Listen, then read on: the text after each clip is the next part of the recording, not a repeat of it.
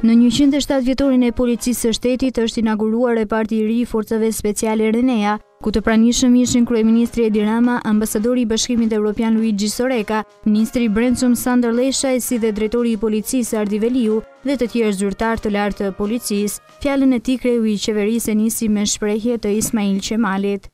Të qërohen të tillë oficerë Dhe të lëshohet puna e xhandarmërisë dhe e policisë në duar të ndershme dhe të stërvitura. Të zgjidhen xhandarë e policë me kujdes të madh dhe një rregull të shtrënguar. Kjo ishte porosia që Ismail Qemali dha në atë kohë.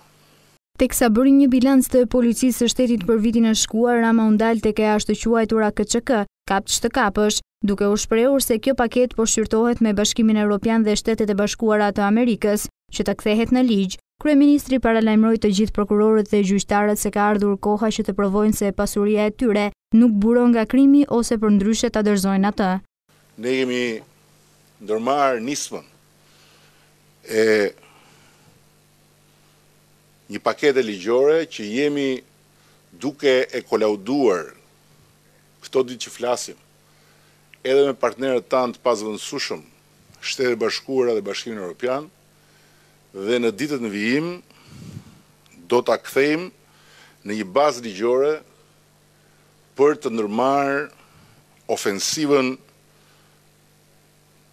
më shembullore ndaj krimit të organizuar, duke zhvilluar një aktivitet si asnjëherë më parë agresiv në terren të Policisë së Shtetit ndaj të gjithë atyre që janë dënuar, janë akuzuar por i kanë shpëtuar dënimit si rezultat i KÇK-së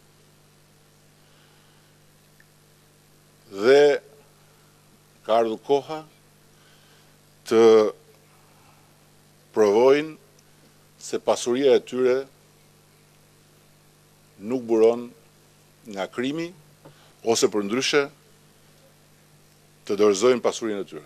Ndërsa ambasadori Soreca bëri apel që të goditet sa më fort krimi i organizuar, Soreca tha se Bashkimi Europian ka investuar shumë sa i përket rendit dhe sigurisë në Shqipëri, ndërsa shtoi se në dy vitet e ardhshme do të japë një fond prej nëntëmbëdhjetë milionë eurosh.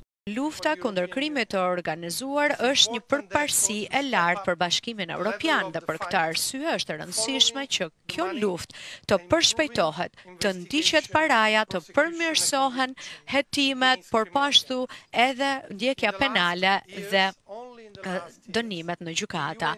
Vetëm në vitet e fundit, Bashkimi Evropian ka investuar pesëmbëdhjetë milionë euro Ministri i Brendshëm Sandër Lleshaj tha se Policia e Shtetit është institucioni më i rëndësishëm për publikun, ndërsa shtoi se qeveria shqiptare po punon në dy drejtime, atë të fuqizimit të kapaciteteve dhe modernizimit të policisë. Policia e Shtetit shqiptar kryeson sot pa asnjë diskutim dhe me të gjithë meritat e mundshme listën e institucioneve më të vlerësuara dhe më të besueshme për publikun në Shqipëri.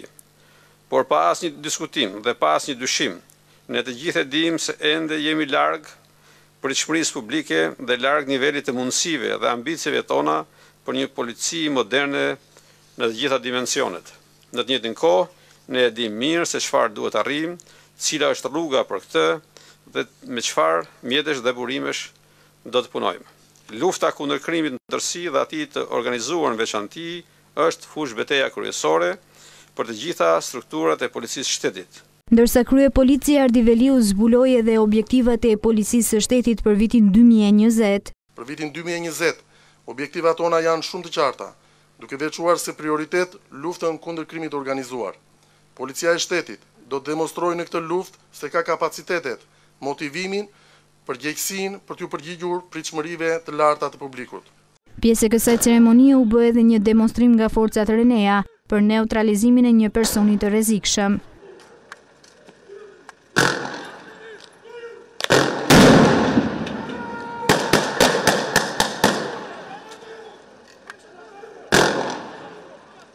Reparti i ri i forcave RENEA një investim i përbashkët me vlerën e dhjetë milionë euro i bërë nga qeveria me Bashkimin Europian ishte një premtim i kryeministrit Edi Rama. Krahas ambjenteve të reja dhe moderne, reparti i ri përfshin rinovimin dhe kompletimin me pajisje mbrojtëse, të komunikimit, armatimit, pajisje speciale, mjete lëvizëse rrugore, pajisje të ndihmës së shpejtë dhe uniforma bashkëkohore të punonjësve të Forcës Speciale RENEA.